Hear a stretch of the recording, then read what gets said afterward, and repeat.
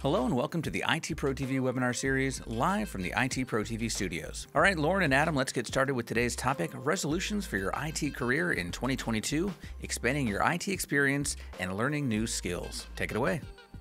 Hey everybody, so glad you could join us. Hey Lauren, good to see you. Nice to be with you today, Adam. Glad you're here with us. So, you know, we I thought we would start by chatting a little bit, right? Because when you think about resolutions for your IT career in 2022, I probably gravitate more towards and think a little bit more about, you know, what are the technical certifications, what are those tech skills like you and I were chatting about before we got started.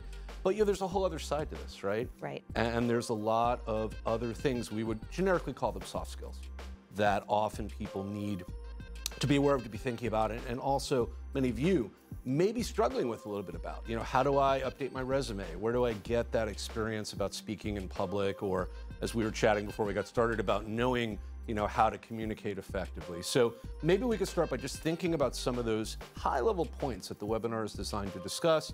Maybe you and I could chat about them for a couple of minutes. And I know we've got a lot of interesting not only questions that you and I want to probably think about answering, but I, I, know we've got actually something a little bit different than we've normally done in other webinars. We'll show you what that secret looks like in just a couple of minutes. It's kind of a cool way for you guys to get in touch with us and ask us some questions that are probably top of mind for you as you consider your resolutions for 2022.